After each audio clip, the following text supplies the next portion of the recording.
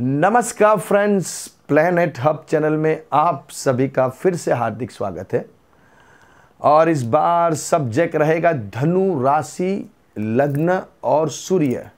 जिनका भी धनु लग्न है, जिनकी भी धनु राशि है, जिनका भी धनु राशि का सूर्य है, धनु राशि का सूर्य का मतलब होता है सन साइन जोडियक साइन जिसको बोलते हैं।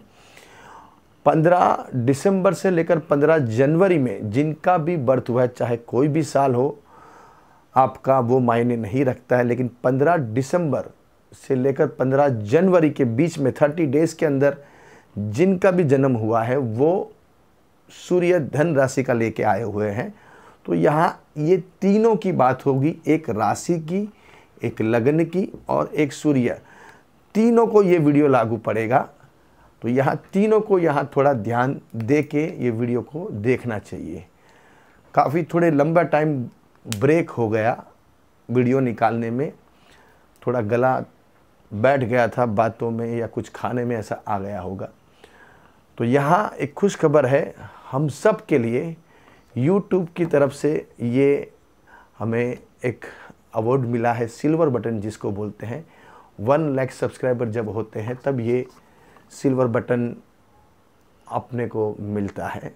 तो ये श्रेय जाता है सब आपको ओनली फॉर यू बिकॉज़ आपने चैनल को हमको ये प्लेनेट हब को इतना सहारा, आपके वजह से ही ये हमें अवार्ड मिला है। और जितने भी मेरे धनु राशि या जितने भी मेरे सभी राशियों के व्यूवर से उनको बहुत बहुत तहे दिल से थैंक्स ऐसे ही प्यार आप हमें देते रहिए और ऐसे ही हम आपको मार्गदर्शन देते रहेंगे। Thank you so much thank you तो यहाँ जैसे बहुत से कमेंट से आती है कि, सर, हमारा तो अभी कुछ हुआ नहीं, अभी कुछ हो नहीं रहा जैसे आपने बताया, जैसे आपने बोला।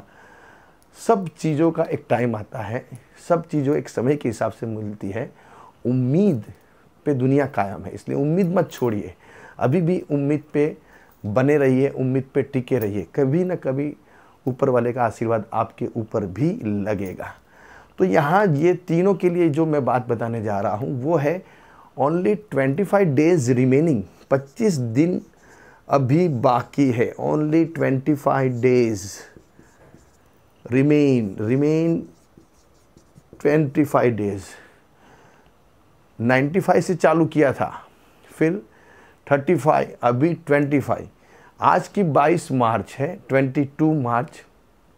बाईस मार्च से लेकर आप पकड़ लीजिए जो भी है, लेकिन पच्चीस से मैंने पकड़ा है, पच्चीस टू बीस। बीस अप्रैल तक गुरु यहाँ मीन राशि में बैठेगा। लेकिन 22 तारीख से बात कर रही है, जब मैं वीडियो निकाल रहा हूँ, अपलोड कर रहा हूँ, उस दिन 22 तारीख है। तो 22 तारीख से आपके यहाँ जीवन में बहुत बड़ी मूवमेंट चालू हो जाएगी। अभी तक आपका काम नहीं हुआ है, अभी तक कोई भी समाचार नहीं मिले और बहुत सारे भगवान की दया से लोगों के काम हुए हैं तो उनको बहुत सारी बधाई, बहुत सारा हमारी तरफ़ से प्यार। लेकिन जिनका नहीं हुआ है तो उनके लिए क्या? तो उनके लिए अभी भी उम्मीद कायम है, उम्मीद बरकरार है, उम्मीद कहीं गई नहीं है। कुदरत के वहाँ देर है, अंधेर नहीं है। भगवान को देने में कोई टाइम नहीं लगता और लेने में भी कोई टाइम नहीं लगता है। तो यहाँ सूर्य, बुध और गुरु ये तीन प्लैनेट्स यहाँ 25 डेज़ तक बैठे रहने वाले हैं। 20 तारीख के करीब करीब गुरु महाराज यहाँ से निकल के मेष में आ जाएँगे। फिर बात अलग हो जाएगी। लेकिन अभी भी अपने पास 25 दिन 22 27 दिन जो भी बचे हैं, उसका अपने को कैसे उपयोग करना है, उसका कैसे बेनिफिट्स उठाना है, ज़्यादा से ज़्यादा उसके ऊपर फोकस करना, ये दिन बहुत इम्पोर्टेंस है, बहुत।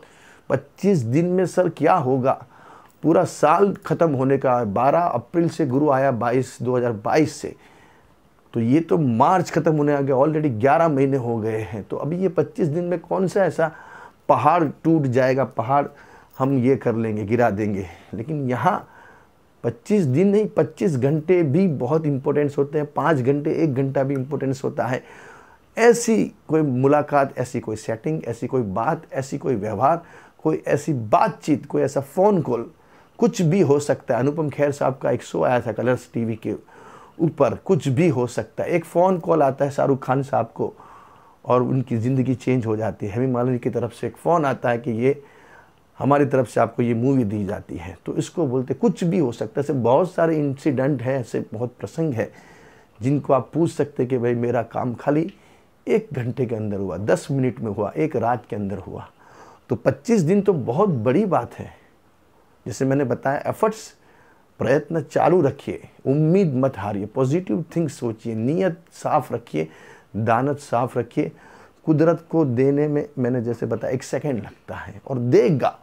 आपकी नीयत साफ़ है, आपकी दानत साफ़ है तय दिल से भगवान का नाम लेते हो, किसी का अच्छा भला सोचते हो तो एक ही घंटे में आपका काम बन सकता है। तो यहाँ सूर्य, राजा, बुध, युवराज और गुरु खुद फाइनेंस मिनिस्टर ये तीनों की पोजीशन यहाँ बैठी हुई है।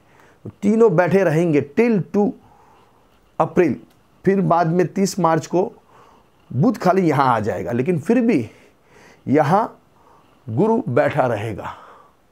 वो भी सॉरी तीस अप्रैल को आएगा, इसलिए गुरु भी, बुध भी यहाँ ही रहेंगे अप्रैल तक।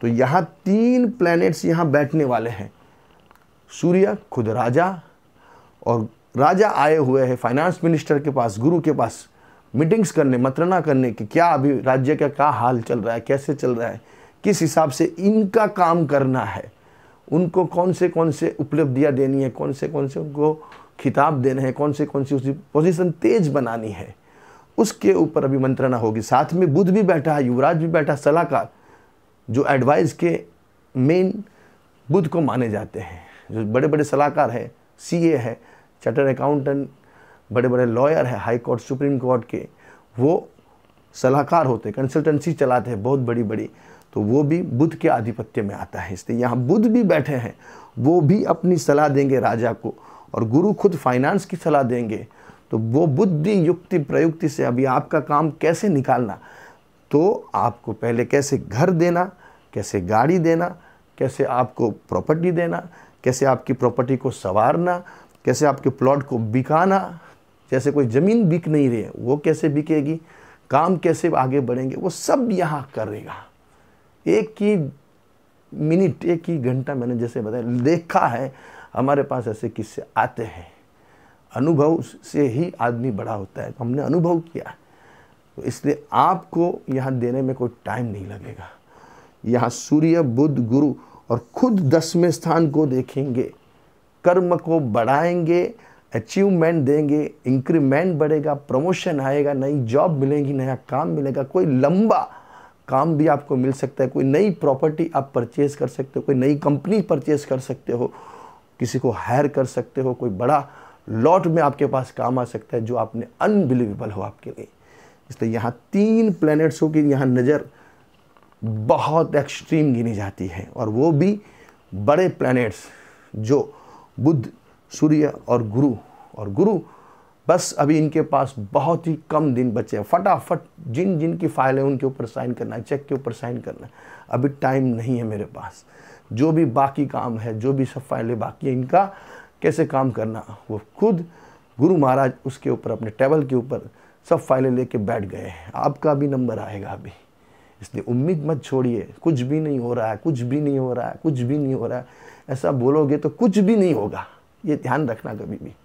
आप जैसा बोलोगे, जैसा सोचोगे, वैसा ही होगा। इसलिए सोच को हमेशा पॉजिटिव रखिए। होगा, अभी नहीं हुआ तो बाद में होगा। पॉजिटिव के ऊपर बहुत बड़ा दारो मदार होता है। पॉजिटिव थिंग पॉजिटिव थॉट्स आपके जीवन में रखिए। सूर्य को जल चढ़ाइए।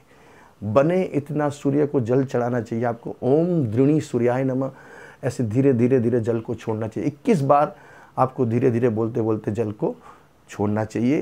तांबे के लोटे के अंदर उसमें लाल गुलाब डालिए तो बहुत बेहतरीन होगा। जो लाल मिर्ची आती है, सूखी, उसको भी डाल सकते हो, उसके दाने को भी जो डेट्स होते हैं, उसको भी डाल सकते हो आप। या कुछ भी नहीं है तो खाली पानी तांबे के लोटे के अंदर। वो छोड़ सकते हैं। सोने की चेन हमेशा गले में आपको धारण करनी चाहिए, सोने की अंगूठी धारण करनी चाहिए, पोखराज धारण करना चाहिए और मानेक भी आपको धारण करना चाहिए तीनों के लिए।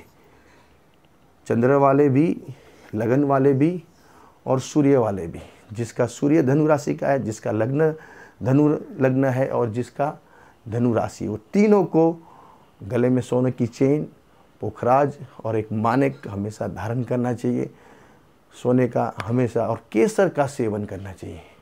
जितना बने उतना आपको केसर खाना, बने मतलब सुबह एक बार आप खा लीजिए।